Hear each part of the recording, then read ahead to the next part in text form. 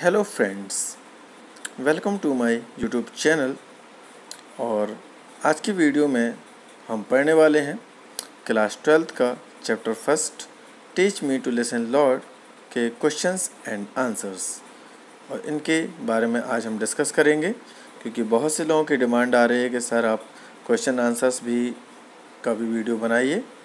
Okay तो इस video में हम आपके सामने लेके आया हैं। तो देखिए, यहाँ पर हम इसके कुछ क्वेश्चंस को देखते हैं। तो जब हम इसके फ़र्स्ट क्वेश्चन को देखते हैं, जिसमें लिखा हुआ है what message do those who are nearest give us इसका अर्थ है कि ऐसे लोग जो हमारे पास में हैं, वो हमें क्या संदेश देते हैं? ओके तो आंसर है they give the message that we would pay attention to them यानी कि वे हमें यह मैसेज देते हैं कि हमें उनकी तरफ़ ध्यान देना चाहिए। Next question who are the people far from us ऐसे कौन से लोग हैं जो हमसे फार हैं?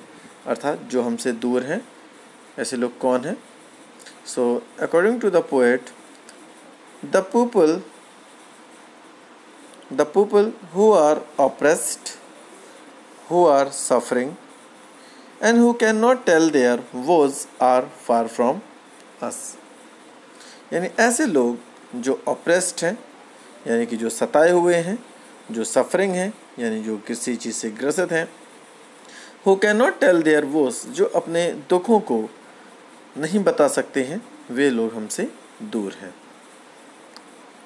Okay come to the next question how does the poet wish to trust how का अर्थ होता है किसको कवि चाहता है कि हम किसको ट्रस्ट करें, अर्थात किसकी बात पर विश्वास करें? और इसका आंसर है the poet wishes to trust our inner voice that is of his causes कवि इच्छा रखता है कि वह अपनी इनर वॉइस अर्थात जो उसकी अंतरात्मा है, अंदर की जो आवाज़ है, उस पर विश्वास रहे, रखे, जो हमारी क्या होते हैं, एक कॉन्सियस कॉन्सियस का मतलब होता है एक सचेत करने वाली आवाज़, यानी कि जो हमारी अंतरात्मा होती है. ओके अब हम चलते हैं इसके नेक्स्ट क्वेश्चन पर.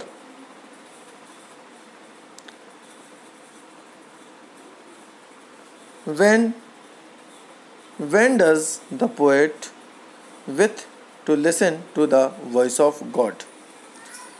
When यानी होता है कब? कवि कब चाहता है कि वो ईश्वर की आवाज़ सुने?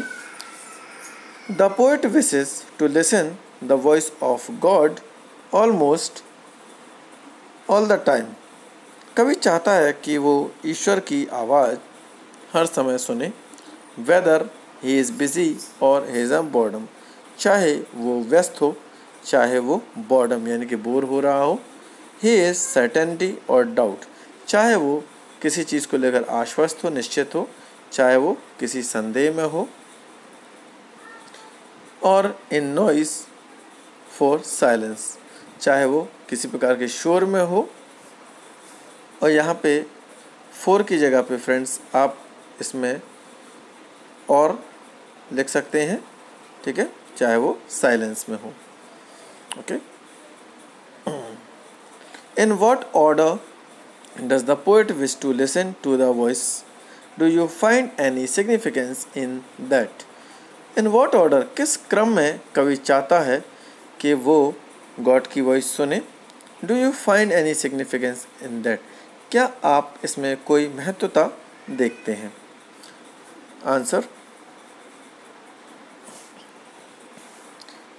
The poet wishes to listen to the voice in the following order. कवि निम्नलिखित क्रम में ईश्वर की आवाज़ को सुनना चाहता है। The voice of the people who are nearest to him यानी सबसे पहले जो लोग उसके पास हैं, वो उसकी आवाज़ सुनना चाहता है। Second the voice of the suffering people who are far from him second number पे वे लोग जो उससे दूर हैं, वह उनकी आवाज़ को सुनना चाहता है। Third the voice of conscious यानी कि जो उसकी अंतरात्मा है, उसकी आवाज़। And fourth the voice of God और अंत में जो ईश्वर की आवाज़ है, वो उसको सुनना चाहता है। तो ये वो क्रम है, जिस क्रम में वो अपने जो लिसन है, वो सबकी आवाज़ है, वो को वो सुनना चाहता है। आगे लिखा है this order is significant as the poet wants to recognise अब ये जो ऑर्डर है, क्रम है, ये एक महत्व है, महत्वपूर्ण है, क्योंकि the nearest people whom he had neglected क्योंकि जो हमारे पास में लोग होते हैं, उनको हम ज़्यादातर निगलेक्ट कर देते हैं। Then he wishes to listen to the oppressed तो इसलिए कवि चाहता है, वो इच्छा रखता है कि जो ऑपरेस्ट लोग हैं, जो सताए हुए हैं, हम उनकी जो वॉइस है, उसको पहले हम सुने। This shows that he wishes to start और इससे ये ज़ाहिर होता है कि हम शुरुआत से कोशिश कर सकते हैं। Taking care of people first who are close and then to oppressed people और ये मान सकते हैं जो हमारे पास में हैं, उनकी आवाज़ को हम सर्वप्रथम सुने। Then he is listening to his conscience and ultimately to God secure और इसके बाद जो हमारे क्रम है उस क्रम में हम आवाज़ सुने। To the God source hit growth जिससे हमारे आ, हमारी आवाज़ पहुँचे and his aim of attend salvation और हम उस मोक्ष की प्राप्ति को स्वीकार करें यानी कि हमें मोक्ष मिल सके। अब बढ़ते हैं इसके अगले क्वेश्चन की तरफ़। What do you suppose the hopeless the forgotten and the anguished want to tell us आपके अनुसार जो लोग होपलेस हैं, यानी कि आशाहीन हैं, जो फॉरगॉटन हैं, यानी कि जो भूले बिसरे लोग हैं, और जो एंग्विस्ट हैं, वे हमसे क्या कहना चाहते हैं?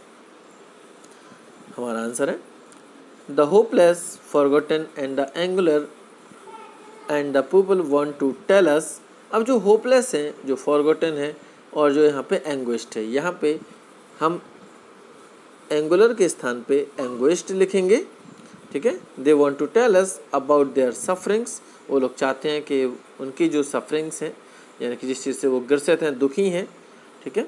And plead to us to help them और वो हमसे प्लेट करते हैं प्रार्थना करते हैं कि हम उनकी मदद करें out of their miserable condition और उनको जो उनकी इस प्रकार की जो स्थिति है उनकी जो मिजरेबल कंडीशन है उससे हम उनको बाहर निकालें। ओके okay, फ्रेंड्स अब हम आते हैं इसके अगले क्वेश्चन पे।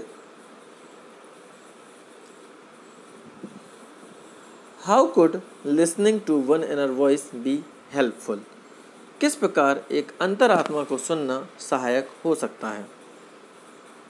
आंसर है listening to one inner voice is helpful in making less afraid and sinless listening यानी कि सुनना, अंत, अपनी अंतरात्मा को सुनना, ठीक है? एक बहुत प्रकार सहायक हो सकता है। इससे क्या होगा? हम लेस अफ्रेड यानी कम भयभीत होंगे और सिनलेस और पाप रहित बनेंगे। ओके?